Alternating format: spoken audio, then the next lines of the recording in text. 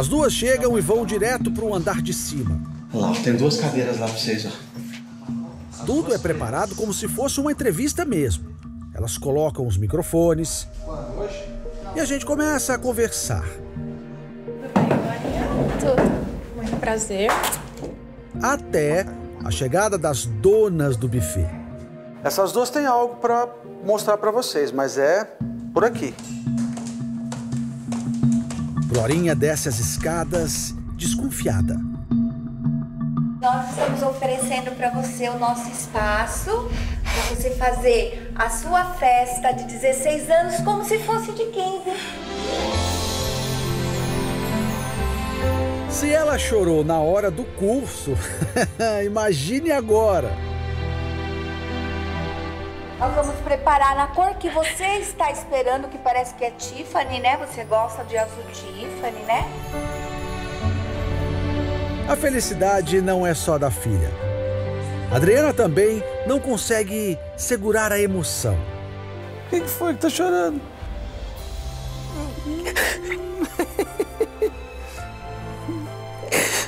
Ela sempre me faz chorar. Toda vez que eu conto com ela, ela me faz chorar, sabia?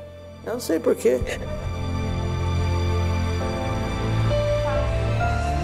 Ainda tem o segundo espaço, aberto, onde vai ser montada a pista de dança para a valsa de Glorinha. O que está passando pela tua cabeça agora? É uma alegria muito grande. Por que essa alegria é tão grande assim? Só de saber que meu sonho está se realizando. Ai, é muito grande isso. Isso que vai marcar pra minha vida inteira. Quando eu lembrar que vocês podem me ajudar a realizar meus sonhos. Isso nunca vai sair da minha mente e nem do meu coração.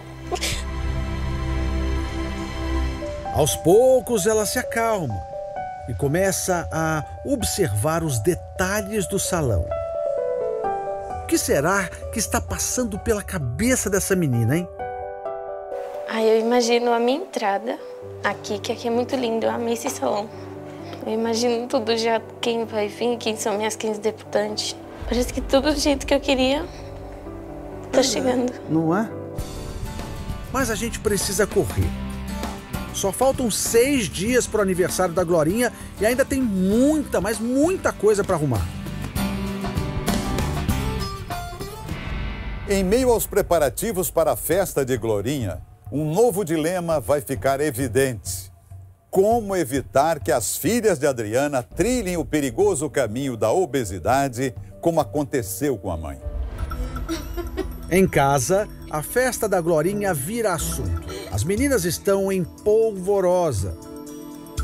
As bonecas são arrumadas como se tivessem sido convidadas para o baile. Mas a mais ansiosa é a Glorinha mesmo, claro. E hoje é um dia especial. Bom, pessoal, hoje eu soube que a Glorinha nem dormiu direito. Afinal de contas, né? Dia de experimentar o vestido de debutante. Eu vi, gente, ó, segredo. Tá lindo o vestido. Eu acho que ela vai gostar, viu? Vestido para filha e para mãe. Oi, bom dia, tudo bem? Tudo. Eu não quero saber de nada. Aqui para frente é a Marcela que tá lá esperando vocês, tá? Fale com ela, eu espero que goste do vestido. Obrigada. Tá?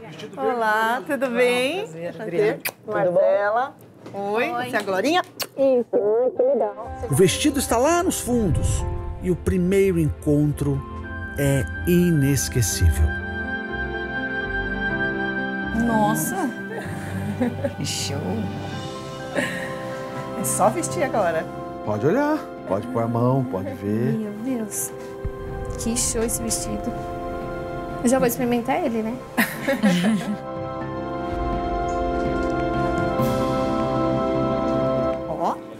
que cinturinha é essa, gente? O sapato é o último a ser colocado. De frente para o espelho, ela já começa a ensaiar a dança.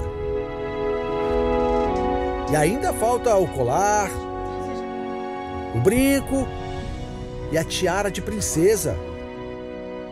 Ficou simplesmente linda. E sem nenhum estresse. Bem diferente do que aconteceu quando ela foi experimentar o vestido que usaria no casamento da Adriana. Na hora de provarem o vestido para o casamento da mãe, as duas irmãs saem satisfeitas da cabine. Mas no corpo de Glorinha, a roupa não entra. Não? Por quê? E a menina desata a chorar.